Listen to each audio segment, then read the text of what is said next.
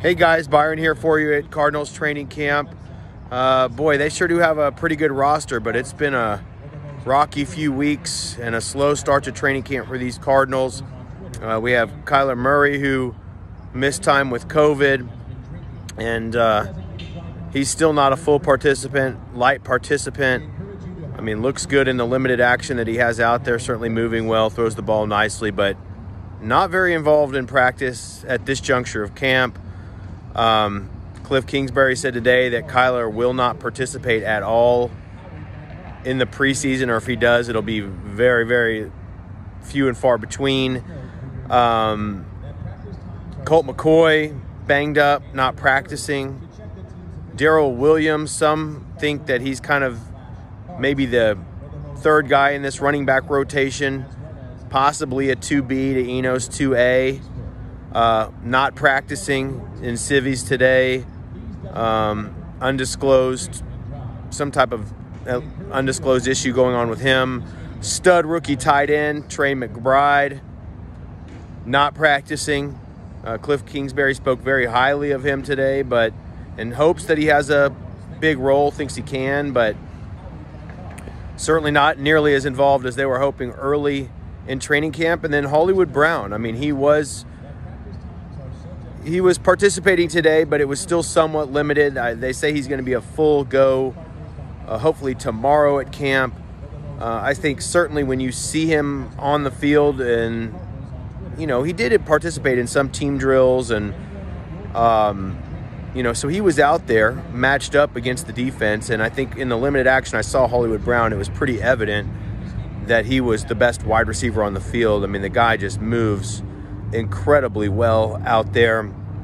Uh, so definitely looks like a good uh, good fit here in Arizona. I think he looks like the most talented wide receiver on the roster at this point. You know, we'll have to see what that looks like when Hopkins comes back. Um, but definitely, I think this is a team that's going to spread it around. You know, AJ Green is still here. He still looked pretty decent at times.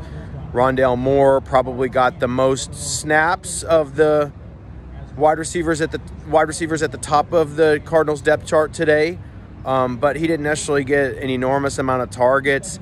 You know, we're seeing a lot of two tight end formations. You know, the word is that even during Zach Ertz's breakout last year, they were still in these two tight end formations. Uh, it was, in fact, just true that Kyler had a good chemistry with them. So hopefully that uh, will continue this year. But uh, they definitely got a rotation at tight end. I mean, there's seven guys on the roster.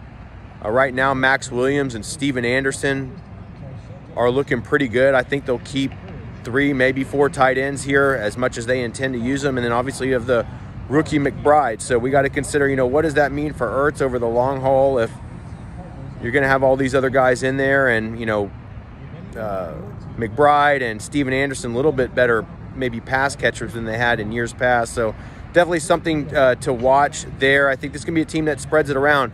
Uh, probably stood out to me the most is James Conner is a beast. That is a big dude, and he is fast as hell.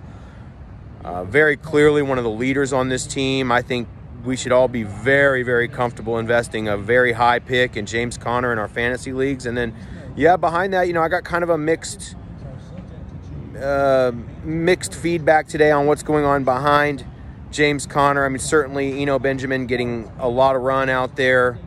Um, like I said, Darrel Williams not really participating today.